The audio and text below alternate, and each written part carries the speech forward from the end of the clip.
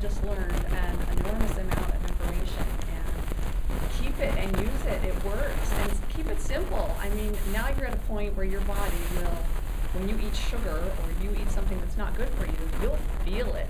You will feel it. Your body will give you that headache. It will give you those warning signs. It will give you, you know, everything Marci's taught you. Listen to it. Trust yourself. Keep yourself energized. Keep yourself you know the best you that you can be and don't don't let yourself go back to the way it was before. You can feel the difference you know the difference live the difference and be who you are.